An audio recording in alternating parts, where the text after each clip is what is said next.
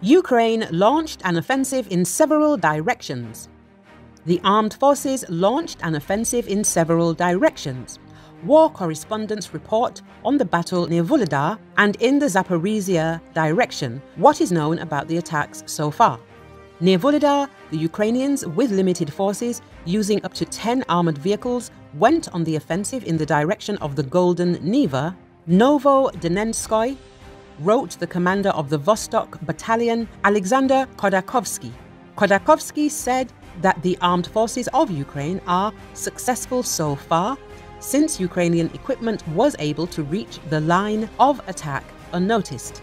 The armed forces of Ukraine entered the outskirts of Novodonetsk near Vuhledar.